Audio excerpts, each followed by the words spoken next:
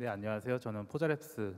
저희는 쉽게 설명드리자고 하면 인공지능을 통해서 음악을 만드는 회사입니다. 넘어가 주세요. 네, 저희가 우선 저희가 풀고자 하는 음악 시장의 문제점에 대해서 한번 짚고 넘어가도록 하겠습니다. 어, 저희가 이제 현재 배경음악을 위주로 저희가 사업을 전개를 하고 있는데요. 그 이면에는 당연히 영상 컨텐츠의 수가 너무나도 폭발적으로 증가하고 있다는 것이 저희가 보고 있는 문제점입니다.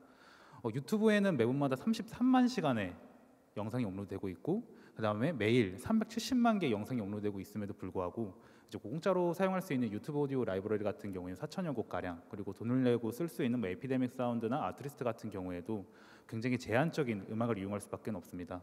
당연히 영상 제작자 분들 입장에서는 더 다양한 음악을 쓰고 싶은데 그럴 수가 없기 때문에 굉장히 많은 음악들이 재사용되고 있는 상황입니다. 이 문제점에는 어떻게 보면 저작권적인 문제가 있을 수밖에 없습니다. 예를 들면 이제 여러분들은 너무 잘 아시겠지만 보통 음악을 저작권자가 만들게 되면 이 음악을 유통사를 통하게 되고 유통사가 서비스사에 납품을 한 다음에 수요자가 그걸 이용하게 되는 형태인데요. 이런 형태에서는 아무래도 이제 여러 유통사가 있다 보니까 이제 일반적이진 않습니다. 보통 이제 어떤 유통사는 뭐 라디오에 전송할 수 있는 권한을 가질 수 있고 어떤 사람은 TV 광고에 넣을 수 있는 권한도 가지고 있다 보니까 유튜버 분들이 그걸 공짜로 이용하게 된다고 하면 아니면 적은 돈만 이용하게 된다고 하면은 이제 TV 광고에 몇 억씩 지불하면서 그 곡을 이용하고 싶어하는 사람들은 당연히 억울할 수밖에 없을 것입니다. 그래서 이 권한 구조 자체가 저희는 잘못됐다고 생각은 안 하고 있습니다. 왜냐하면 저작권자분들도 굉장히 많이 있고 이 저작권을 통해서 최대한의 수익을 얻어야 되기 때문에 이러한 시장 구조가 나왔다고 생각을 하고 이 시장은 저는 되게 건전하게 잘 돌아가고 있다고 생각은 합니다. 하지만 문제점이라는 것 자체는 영상 제작자 입장에서는 영상에 들어갈 음악을 고를 수가 없다는 것인데요. 당연히 그 이후에는 이제 제작을 하게 해도 괜찮겠지만 제작 비용이 너무 비싸다는 것과 그다음에 나는 이제 당장 내일 필요한데 이거를 만들게 되면 7일 정도가 걸리기 때문에 이것을 바로 이용하기도 굉장히 어려울 것입니다.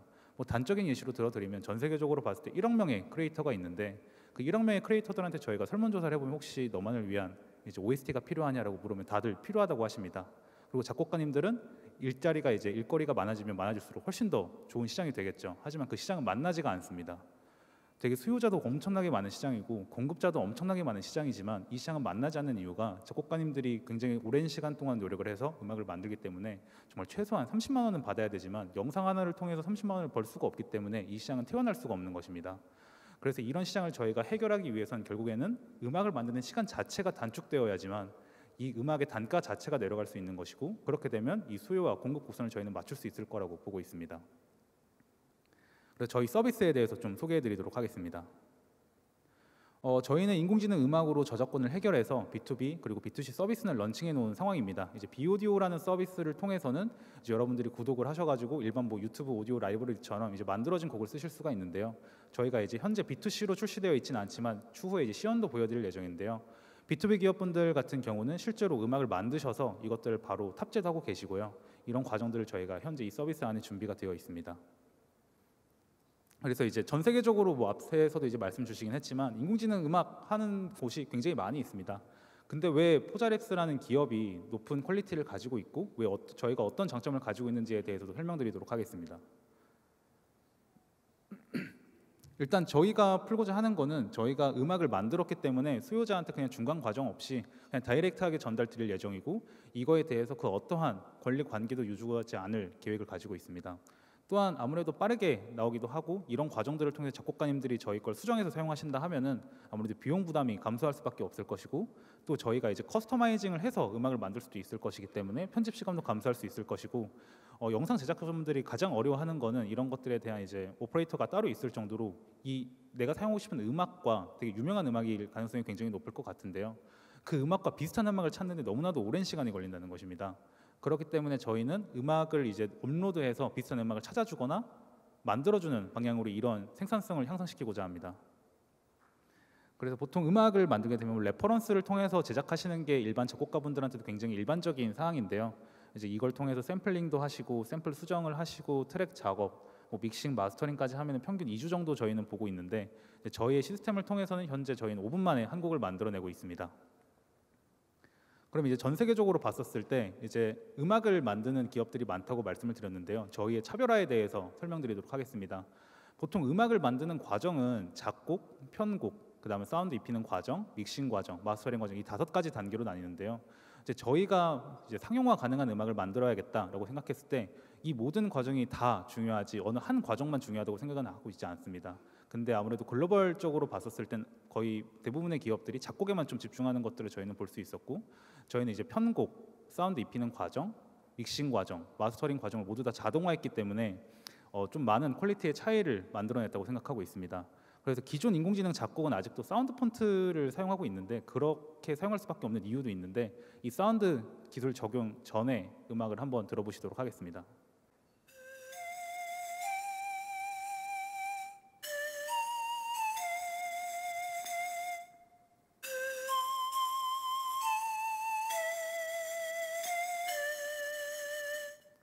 기술 적용 후도 한번 들어보시겠습니다.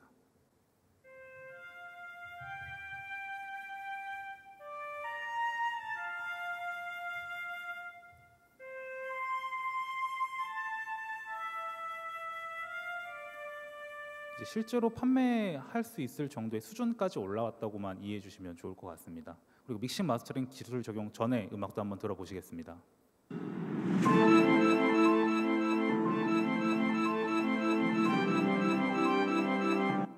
저희 자동화 시스템 이후에 믹싱 마스터링도 한번 들어보시겠습니다.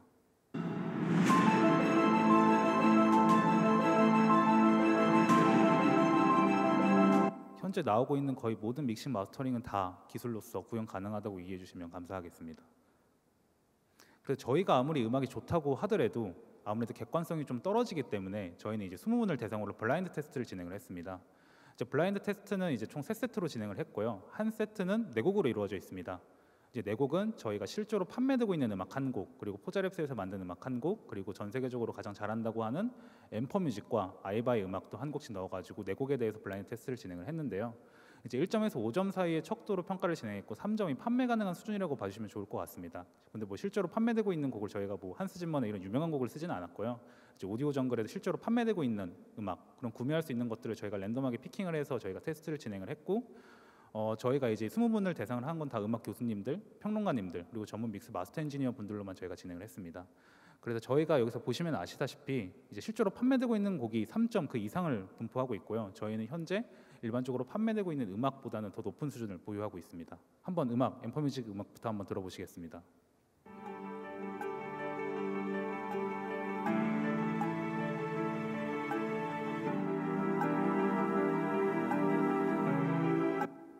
아이바의 음악도 한번 들어보시겠습니다.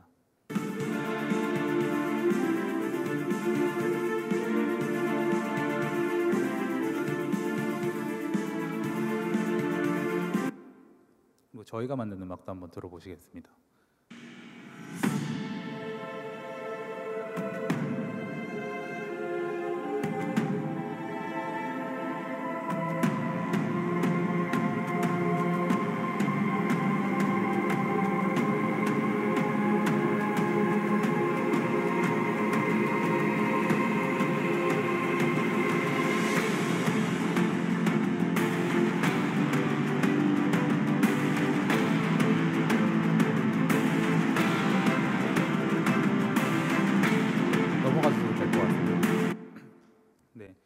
이처럼 저희가 만들고 있는 음악 자체는 트랙 수 자체도 저희가 실제로 만들어지고 있는 건 50트랙, 60트랙 그리고 그 이상의 트랙도 얼마든지 생성이 가능한데 다른 인공지능 기업 같은 경우 최대 만들 수 있는 트랙의 수가 다섯 개 정도까지밖에 안 되기 때문에 이런 사운드를 구현하기는 상당히 어려울 거라고 생각이 들고요.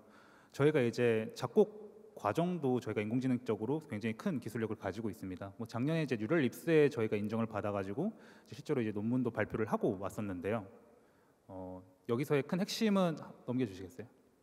어, 그 전, 전장으로 다시 좀 설명드리면 저희가 이제 많은 생성 AI들이 굉장히 핫한데 솔직히 이제 이미지, 글과 음악을 생성하는 거는 좀 기술적인 난이도 굉장히 많이 다릅니다. 그래서 이거에 대해서 저희가 생용하기까지는 좀 더 시간이 필요할 거라고 보고 있긴 한데요. 저 여기서 보고 있는 거는 여러분들 챗GPT 써보시면 아시겠지만 어떻게 컨트롤 가능할지 모르겠다. 라는 이제 내가 예상하지 못했던 결과물이 나오기도 하고 이런 문제점들이 있는데 이제 저희가 음악 산업에서 굉장히 중요한 게 소비자가 뭐 슬픈 음악을 요청을 했는데 갑자기 신나는 음악이 나와버리면 이건 인공지능에 아무 의미가 없는 거라고 저희는 생각을 하고 있어서 저희 인공지능적으로 학술적인 그런 어프로치를 하는 것 자체는 이제 모든 것들을 컨트롤 가능해야 된다라는 것입니다. 그래서 저는 실제로 뭐 악기라든가 이제 verse에 쓰일 건지, 뭐 코러스에 쓰일 건지, 뭐 어떤 BPM, 어떤 코드 진행. 예를 들면 이제 velocity도 이제 어느 범위에서 어느 범위로 해야 되고 이제 현이라고 하면 modulation을 어떻게 해야 되는지 이런 모든 과정을 인공지능 모델을 통해서 컨트롤이 가능합니다. 네, 넘어가 주세요. 그래서 저희 클라이언트와 인공지능 음악의 활용 사례에 대해서도 짧게 한번 짚고 넘어가도록 하겠습니다. 뭐 저희는 이제 CJ ENM에 이제 비밀스럽게 곡이 이제 서서히 들어가고 있는데요. 실제로 방영되고 있는 거에도 속속 이제 탑재가 되고 있고 뭐 네이버 D2라든가 MBC 이제 내용 이제 그 실제로 드라마에 지상파 드라마에 방영이 되기도 했었고요. 어, 크래프톤, 하이브, 뭐 위시 컴퍼니 등 다양한 곳에서 저희 음악들을 실제로 활용을 하고 계시고 어떤 컨텐츠는 뭐 100만 회가 넘을 정도로 이제 많은 인기를 얻는 그런 곡들도 굉장히 많이 있습니다. 그래서 저희가 아무래도 보여드리는 게 가장 좋은 게 실시간 시연이다 보니까 한번 실시간 시연을 한번 보여주시겠어요? 자, 아쉽게도 이 기능은 이제 기업 고객분들 대상으로만 세고 서비스가 되고 있어 실제로 들어오시면 찾아보실 수 없다는 점 양해 부탁드리도록 하겠습니다.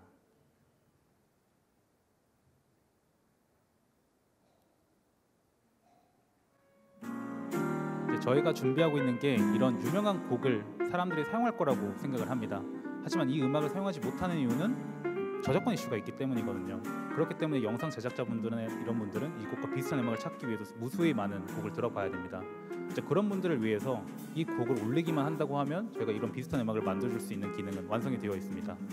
그래서 저희가 이걸 통해서 어, 저희의 또 장점을 한 가지 말씀드린다면 저희가 어텀 리브스나 비성곡 그런 모든 전제 판매되고 있는 음악들은 저희 학습 데이터에 절대로 존재하고 있지 않습니다. 저희 회사 내부에 계신 작곡가님들이 다 창작을 해서 데이터를 넣어주고 계시고요. 실제로 이런 오디오 파일을 저희가 봤더라도 이 오디오 파일을 통해서 저희가 뭐 코드 진행이라든가 뭐 악기의 구성, 빠르기, 키 이런 과정들만 받아서 아예 새롭게 창조한 결과물이기 때문에 명백하게 다른 음악임을 저희가 선보일 수 있을 것 같고요. 어, 이것도 아마 생성되는데 한 2, 3분, 4, 5분 정도 걸릴 수 있을 것 같아서 어, 제가 좀 더 자세한 설명하고 이제 완성이 되면 한번 들려드릴 수 있도록 하겠습니다. 여러분들 다 이 노래 아실 거라고 생각해서 제가 좀 유명한 곡으로 들고 왔거든요. 그래서 좀 더 뭐 생성되는 동안 좀 말씀을 드리자면 현재 이게 B2B로만 풀려 있는데 저희가 12월 말에는 B2C로도 런칭할 생각을 가지고 있습니다. 이제 뒤에 계신 이제 발표하실 슈퍼톤 이규구 교수님이랑도 저희가 같이 하고 있는 게 있는데요.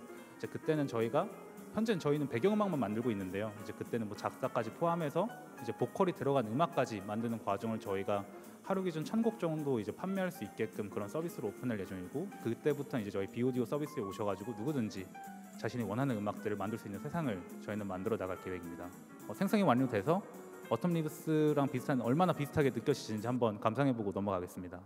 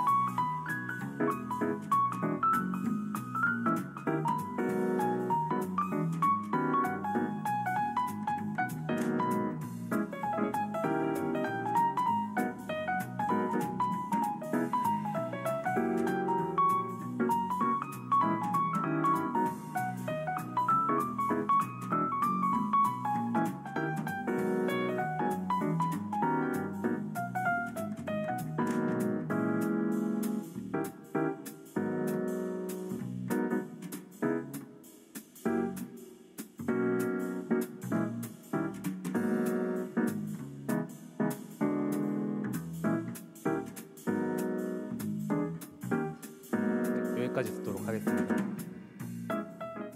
그래서 보시면 아시겠지만 저희가 만약 이런 곡들을 만약 다운로드 받게 되시면 이 곡에 포함되어 있는 미디 파일부터 해서 스템 파일, 믹싱 전후 파일까지 다 제공을 해드리고 있고 어, 어떤 이제 음악 감독님들이나 음악 스튜디오에도 이런 니즈가 있는 것을 저희는 확인할 수 있었습니다.